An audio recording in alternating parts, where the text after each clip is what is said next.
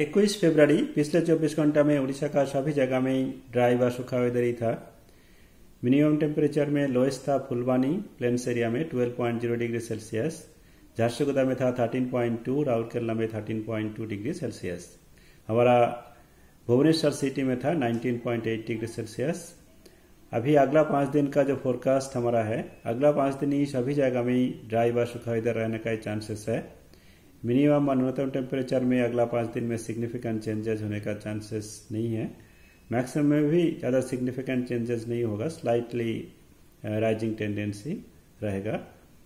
और भुवनेश्वर सिटी में आज मैक्सिमम 36 का आसपास रहने का चांसेस है। कल मिनिमम 20 का आसपास रहने का चांसेस है। और मेनली क्लियर ही रहेगा।